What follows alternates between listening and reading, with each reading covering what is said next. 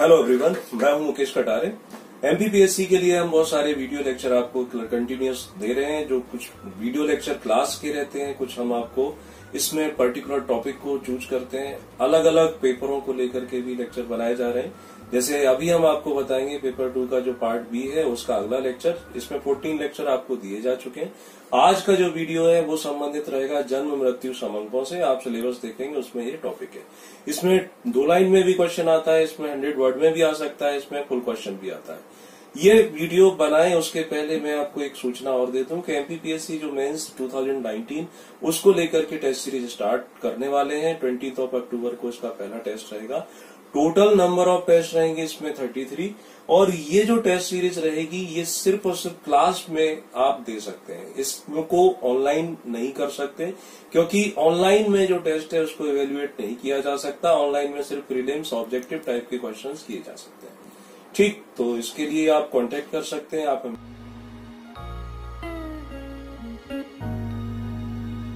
आज का हमारा जो लेक्चर रहेगा वो मुख्य परीक्षा में एक टॉपिक है, जन्म, मृत्यु, समंक, उसको लेकर के। उसमें देखें कौन कौन से पैरामीटर रहेंगे, क्या क्वेश्चन आ सकता है, इसको पूरा डिटेल में समझने की कोशिश करते हैं। सबसे पहले तो हम इसका एक इंट्रोडक्शन बना लेंगे कि जन्म, मृत्यु, समंक, आंकड़े किसी समुदाय या किसी देश की संपूर्ण सामाजिक, आर्थिक विकास की जाँच करने में सहायक हो सकते हैं। समुदाय में प्रजनन शक्ति यानी जो जिसे हम रिप्रोडक्टिव पावर बोल सकते हैं, और मृत्यु दरें। समुदाय के संपूर्ण स्वास्थ्य और पोषण की सूचक होती है। इस प्रकार से सामाजिक, आर्थिक विकास की आवश्यकता को दर्शाते हैं। अब इसका हम थोड़ा सा हिस्ट्री देख लेते हैं कि ये एसआरएस एक बृहद स्तर का नमूना जनांक सर्वेक्षण होता है। नमूने का मतलब रहता है सैंपल और जनांकिकी का अर्थ होता है डेमोग्राफी जिसमें हम उस जगह एक पर्टिकुलर जियोग्राफिकल एरिया की पॉपुलेशन उनकी लिटरेसी रेट उनकी जो रिप्रोडक्टिव पावर है यहाँ इन सब चीज़ों के आंकड़े जुटाते हैं, जो राष्ट्रीय और राज्य स्तर पर जन्म दर मृत्यु दर तथा अन्य प्रजनन और मर्त्यता सूचकों का विश्वसनीय वार्षिक आकलन प्रस्तुत करता है। इसे सर्वप्रथम भारत के महापंजीय कार्यालय के द्वारा पायलट आधार पर कुछ चयनित राज्यों में ईयर 1964-65 में यह स्टार्ट किया गया था। पायलट प्रोजेक्ट का मतलब रहता है कि पहले इसको एक प्रायोगिक तौर पर कुछ पर्टिकुलर एरिया में शुरू करते हैं, बाद में फिर इसे पूरे देश में लागू कर दिया जाता है। ईयर 1969-70 से यह पूरे देश में लागू कर दिया गया। इसके आगे चलते हैं कि कौन कौन से सोर्स इसमें जन्म मृत्यु आंकड़ों के अंतर्गत रखे जाते हैं, कहाँ से ये इंफॉर्मेशन जुटाई जाती है? तो एक रहता है जो हर दस साल के बाद हमारे यहाँ जनगणना सेंसस किया जाता है, उससे भी हमें ये जानकारियाँ प्राप्त होती है। जनसंख्या रजिस्टर मेंटेन करके चलती है भारत सरकार, उससे हमें जानकारी प्राप्त होती है। प्रतिदर्श पंजीकरण योजना के माध्यम से जानकारियाँ मिलती हैं। राष्ट्रीय प्रतिदर्श सर्वेक्षण नेशनल सैंपल सर्वे जैसे हम बोलते हैं तो उससे भी हमें जानकारी मिलती है। स्वास्थ्य सेवाओं का जो रिकॉर्ड रहता है, उससे और समय समय पर कुछ विशेष सर्वेक्षण भी कराए जाते हैं। इसके अलावा जो रोग संबंधी रजिस्टर रहते हैं, इन सब का एक जर्नलाइजेशन किया जाता है और वहाँ से हमें पूरे किसी क्षेत्र के बारे में, किसी कम्युनिटी के बारे में, किसी नेशन के बारे में या किसी स्टेट के बारे में जानकारियाँ प्राप्त हो जाती है। राइट इतना लिखने के बाद फिर हम आगे क्या लिखेंगे, इसमें वो भी जल्दी से देख लेते हैं कि कौन कौन से तरीके होते हैं, मेथड क्या होता है इन आंकड़ों को निकालने का, है ना? तो इसकी जो प्रमुख विधियाँ हैं एसआरएस के तहत क्या किया जाएगा कि पूरे देश में डोर टू डोर जाकर के नहीं पूछा जाएगा। वो तो जनगणना जब की जाती है दस साल में, उस समय आंकड़े जुटा लेते हैं। लेकिन सैंपल का मतलब आप समझो कि जैसे आप चावल बनाते हैं एक एक दाना चेक करते हो कि चावल पक गया है या नहीं? या बस उसमें से दो तीन चावल निकाल के टेस्ट कर लेते हैं? उसी प्रकार से ये सैंपल या सर्वे लेने का मेथड रहता है किसी शहर में, किसी गाँव में, किसी कॉलोनी में। कुछ लोगों को लेकर के उनसे डाटा कलेक्ट किए जाते हैं। तो चयनित सैंपल इकाइयों में जन्म और मृत्यु की सतत गणना दो अलग अलग सूत्रों के द्वारा की जाती है। पहले के अंतर्गत क्या होता है कि स्थानीय अंशकालिक, स्थानीय मतलब लोकल लेवल पर, अंशकालिक का मतलब है पार्ट टाइम जैसे हम बोलते हैं। पार्ट टाइम लोगों को रखा जाता है, जैसे आंगनवाड़ी कर्मी होते हैं या टीचर्स हो सकते हैं। और दूसरे के अंतर्गत, दूसरा जो फॉर्मूला है, उसके अंतर्गत क्या किया जाएगा? ये फुल टाइम रहते हैं, इसमें सुपरवाइजर हर छह महीने के बाद इंडिपेंडेंट सर्वे करते हैं।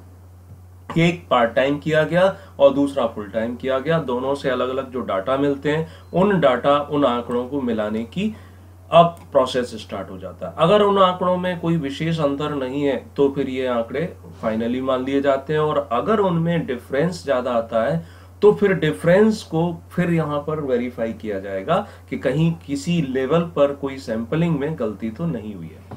ठीक, ग्रामीण क्षेत्रों में सैंपल लेने के लिए क्या करेंगे? पूरा का पूरा एक गाँव विलेज चुन सकते हैं। गाँव का एक छोटा सा भाग चुन सकते हैं।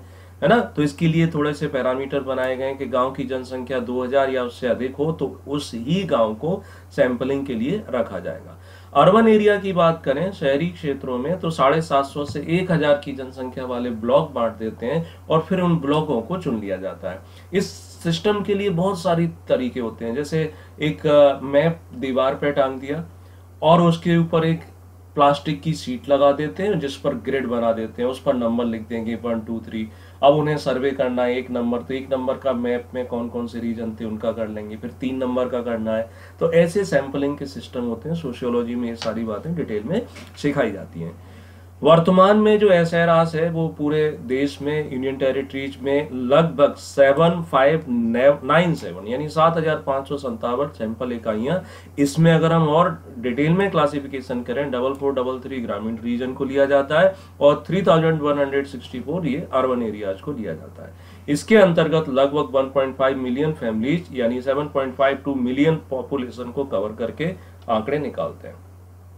अभी हाल ही में जो आंकड़े जारी किए गए थे जिसको 2013, 14, 15 मतलब 15 में रिवाइज होकर के ये डाटा आए थे बस उन डाटा को हमें इसमें जन्म मृत्यु समंकों में रखना है। तो हमने इसका स्टार्ट किया। स्टार्ट करने के बाद कौन कौन से सोर्स होते हैं और इसके लिए कौन कौन से मेथड होते हैं वो मेंशन किया। इसके बाद अब हम आते हैं कौन कौन सी चीज़ों को यहाँ पर ऐड करते हैं। जैसे यहाँ पर पहला रहता है सामान्य प्रजनन दर या इसे हम कह सकते हैं नॉर्मल जिसे बर्थ रेट भी कह सकते हैं नॉर्मल रिप्रोडक्शन रेट भी कह सकते हैं, ये क्या होता है? तो ये आपको लिख देनी है कि एक निर्धारित वर्ष में प्रति हज़ार जनन योग्य आयु वर्ग वाली महिलाओं में जीवित जन्म की वार्षिक संख्या। ये थोड़ा सा रटना पड़ेगा।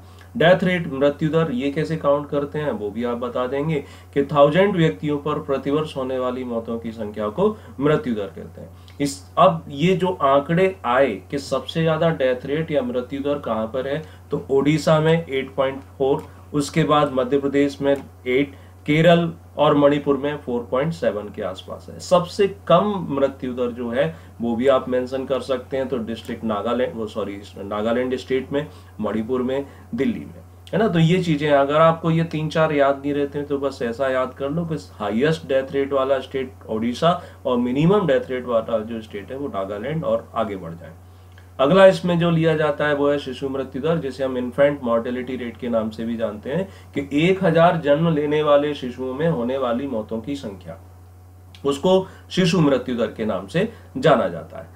अब ये जो भारत में है, ये 40 के आसपास, सबसे ज़्यादा हाईएस्ट इन्फेंट मोर्टेलिटी रेट जो है वो असम और मध्य प्रदेश, यानी यहाँ पर 54 है। देन उसके बाद उड़ीसा उत्तर प्रदेश का आता है। अभी एमपी गवर्नमेंट इलेक्शन आ गए हैं। उसके पहले यहाँ पर प्रचारित करते थे कि मध्य प्रदेश को बीमारू राज्य की कैटेगरी से निकाल दिया लेकिन ये आंकड़े बताते हैं कि मध्य प्रदेश आज भी उसी कैटेगरी में बना हुआ है। नीति आयोग इसको एक्सेप्ट करता है कि उसी कैटेगरी में बना हुआ है।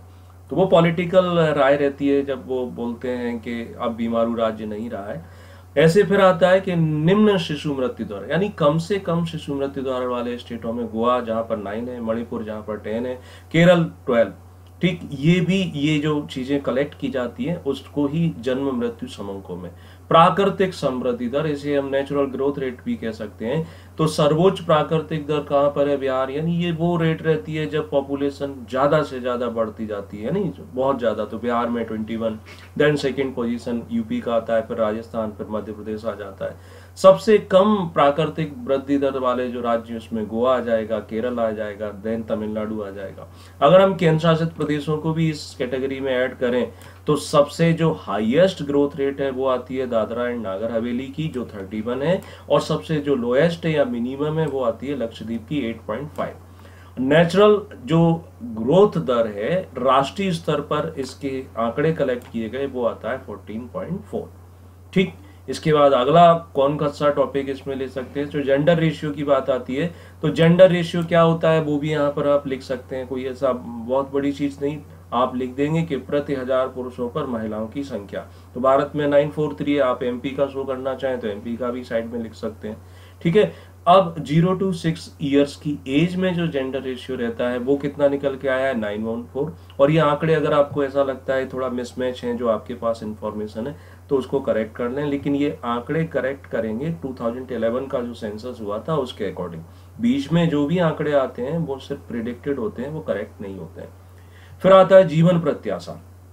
अब ये जीवन प्रत्याशा क्या होती है? लाइफ एक्सपेक्टेंसी किसे कहते हैं? तो लाइफ एक्सपेक्टेंसी का मतलब है कि किसी भी देश में किसी व्यक्ति के सामान्यतः कितने वर्ष तक वो जीवित रहता है, उस आयु की बात करते हैं। तो अभी भारत सरकार के द्वारा ईयर 2006 से 2016 के बीच में जो डाटा रिलीज़ किए, वहाँ बताया गया कि पुरुषों की जो जीवन प्रत्याशा, यानी उनके जीवित रहने की जो उम्र है, वो लगभग 68.35 ईयर है। और हमारे देश में इसी ईयर में अगर हम बात करें तो महिलाओं की है सत्तर दशमलव वन सेवन ईयर महिलाओं की जो जीवित रहने की उम्र है, वो पुरुषों से थोड़ी सी ज़्यादा है। समझ सकते हो कि टेंशन जो लेगा, जल्दी मरेगा टेंशन जो देगा, वो देर तक जिएगा। नेक्स्ट नेक्स्ट जो डाटा रहेगा, उसे हम सामान्य प्रजनन दर के नाम से जानते हैं, है ना? तो ये जैसे जनरल प्रोडक्शन रेट भी कह सकते हैं। ये एक हज़ार गर्भ धारण करने वाली, उम्र वाली जो महिलाएँ रहती हैं, यानी इसको अगर हम एज के फैक्टर से काउंट करें तो 15 टू 49 कई देशों में कहीं पर ये 15 टू 44 भी लिखा है।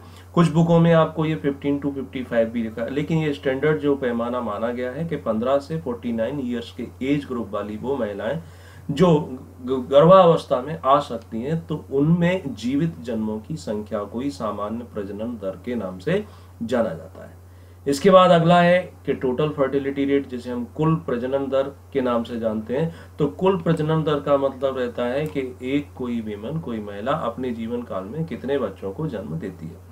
फिर आता है सीडीआर यानी क्रूड डेथ रेट अशोधित मृत्यु दर।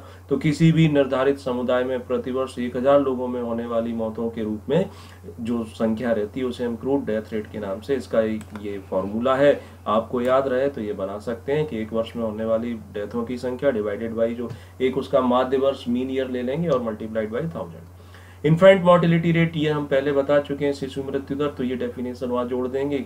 ठीक, इसके बाद अगला हम देखेंगे। और कौन से आंकड़े लिए जाते हैं? तो एम एम आर मातृत्व मृत्यु दर ये भी जन्म मृत्यु समूहों में मेजर है कि यहाँ पर क्या किया जाता है कि प्रत्येक एक लाख जो ये इसको वन लैख पढ़ेंगे। गर्भवती महिलाओं में गर्भावस्था के दौरान या गर्भ के समाप्त होने के बयालीस दिन के अंदर मरने वाली महिलाओं की संख्या रहती है। तो शिशु मृत्यु दर में शिशु की मौत का मैटर था और यहाँ पर है कि वो माँ जो बच्चे को जन्म देने के दौरान या बच्चे को जन्म देने के बयालीस दिन के अंदर उसकी मौत हो जाती है। उसको हम यहाँ पर उसे मातृत्व मृत्यु दर के नाम से जानते हैं।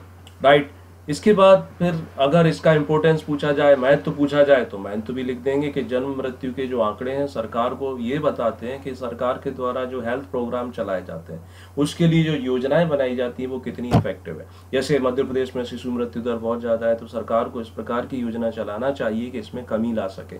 है ना? अगर कहीं पर मातृत्व मृत्यु दर ज़्यादा है तो सरकार अगर प्लान लंबे समय से चला रही है, फिर भी इस रेट में कमी नहीं आती है तो उसको उसको मॉडिफाई करने की ज़रूरत है, उसमें परिवर्तन करने की आवश्यकता रहती है। तो ये सारी चीज़ें हमें इंपॉर्टेंस में बता देनी है और फाइनली एक कंक्लूजन लिख करके ये क्वेश्चन कंप्लीट कर देना है। ये अगर फुल क्वेश्चन के रूप में आता है तो अगर सिर्फ़ आपसे हंड्रेड वर्ड में पूछते हैं कि जन्म, मृत्यु समक तो फिर आपको वो सारा शुरुआत की कहानी नहीं बतानी है।